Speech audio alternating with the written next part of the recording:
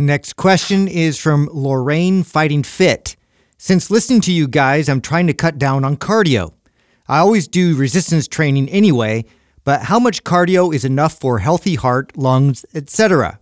I don't want my cardio to affect my resistance training, but I want to do enough to keep healthy. All right, there's a lot to unpack with this with this particular question. So, number one, uh, cardiovascular activity done appropriately is good for you. It's good for your health. So, I don't want to give away the message that it's a waste of time or whatever. There's there's nothing wrong with it. It's good for you. Now, the question is about hearts and lungs and you know the, the benefits there. The truth is, studies actually show this. Resistance training is just as beneficial for the heart as cardiovascular activity. Where cardio is superior to resistance training is in building stamina and endurance. If you want stamina and endurance, more stamina and endurance than you'll get through resistance training, you then you can add cardiovascular training. Now that being said, for most people, you'll get plenty of, of endurance and stamina through resistance training, especially if you cut your, your rest periods short and you do supersets. But if you're somebody that wants more athlete levels of stamina and endurance, then go ahead and do the cardio. What's too much? Well, this is a very independent. This is very, very dependent on the individual. Uh, you know, what's too much for one person is enough for another, just like resistance training. So, for most people, if your goal is just overall health, I would say, you know, 30 minutes a day of some kind of cardio is probably great. It's probably going to benefit your health. Well, here, here's the thing: training for health is one thing. Training for fat loss is another thing.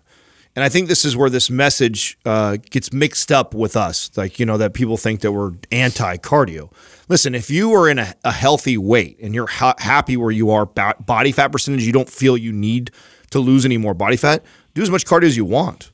I mean, if you if you can get up every day and you enjoy going for a run every morning, by all means, there's that's very healthy and it'd be great the what we speak to because the like the number one thing that everybody wants to do is to lose body fat. It's a losing battle to go after it through cardio. Right. That is the message. So if you're if you're at where you want to be and you've done it through resistance training and dieting and you got to the body type or size or body fat percentage that you want, do as much cardio as you like. Mm-hmm. I mean, if you if you enjoy doing it, do it every day. So long as it's appropriate, right? You don't overtrain or overdo it. Yeah, yeah. I'm, i mean, I mean, why would you though? If you're just doing it for health purposes, do how much you enjoy. Right, right. You know what I'm saying? If you're doing if you're doing it for health purposes, you know, and you like to go for a half hour run or an hour run every day, then go for well, it. I, I, like to just you know promote that there's other options out there, and I think that uh, you know people like will hear that, so they'll just think to get on a treadmill and just walk or run and do the same repetitive thing over and over and over again. When you know it's actually going to be more beneficial for your body body to move in a lot of different ways and to be more active overall.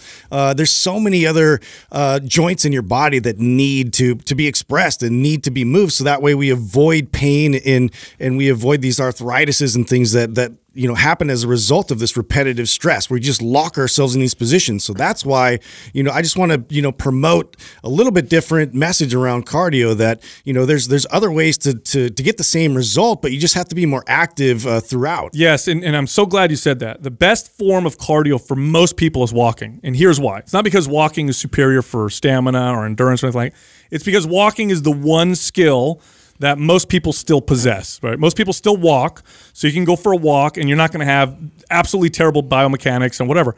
Most people, this is the truth now, most people in modern societies don't have the skill of running. Sorry. Now, we evolved to run. Humans actually evolved to be amazing runners, but that does not mean that you can run well. Uh, if, if you stop running at any point in your life, if you haven't run every day forever, um, like most people, you're in your 20s or 30s and you're like, well, the last time I ran consistently was when I was, you know, 10 just lacing up your jogging shoes, going for a run, it's misleading. You think it's easy. Oh, you just go for a run. It's not a big deal. Running is very technical. It's a very technical movement. And if you haven't done it in a long time, you don't run properly, especially if you run to fatigue. Now you're going to go outside and run till you're tired.